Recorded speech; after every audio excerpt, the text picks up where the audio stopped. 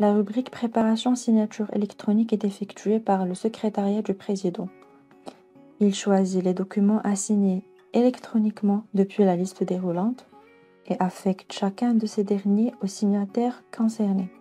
Il peut visualiser directement le document et vérifier ses données, ainsi que les informations propres au maître d'ouvrage et ceux propres données projet.